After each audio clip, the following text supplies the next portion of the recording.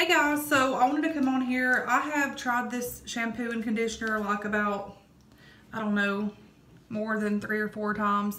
But anyways, this is the um, Bolero um, shampoo and conditioner.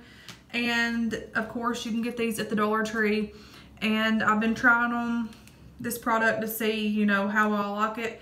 And I was like really excited about getting this product. Um, I do like it, but it, it's not like the best in the world, but I do like it. Um, I did notice whenever I use this stuff, like my hair is like full all the time anyways, but it seemed like it made my hair fuller and bigger. So if you're looking for a shampoo and conditioner that will give you like volume, I felt like it gave my hair a lot of volume. Um, especially when I wore it down and like, you know, like just like scrunched it or whatever. But anyways, this is the Argan Oil and Avocado, the shampoo and it's um, hydrating and softening. It does make your hair soft. Um, the scent's kind of light. You can't really smell it after you wash your hair. Um, it smells good like while you're putting it on like the shampoo. Now I will say the conditioner, it's super creamy. Um, let me show you guys. It's super creamy and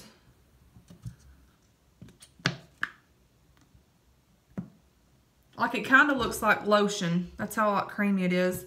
Um, now, when you put this on your hair, it smells like an avocado, like that. It's a it's a very different smell.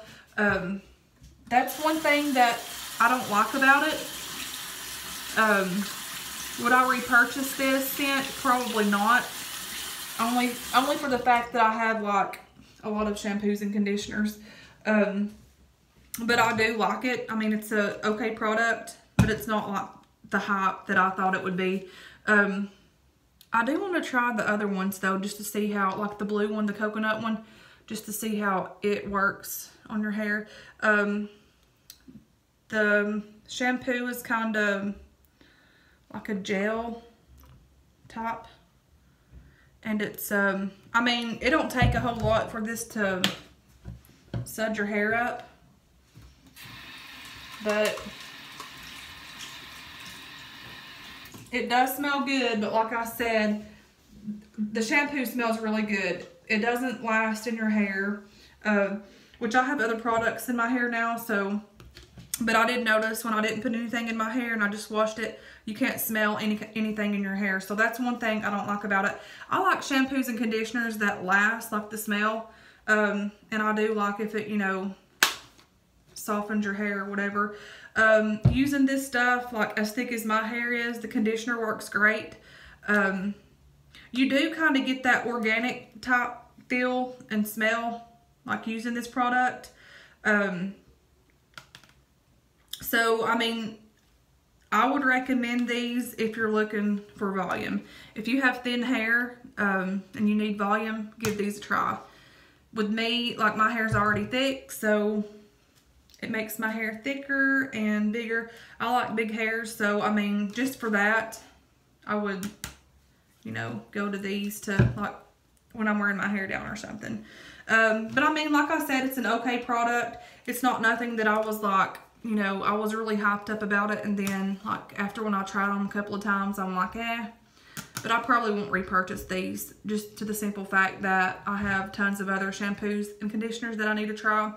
Um, but again, if you have thin hair and you need volume, I recommend these. Get them, give it a try, and let me see or let me know what you think about these products. So, And if you've tried them, let me know what you think about them. If you've tried the other, like the blue one, I think it's coconut, I think.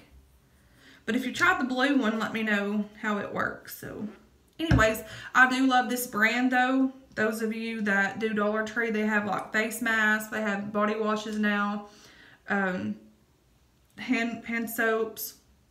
So this along is a really good product. So um, 10 out of 5.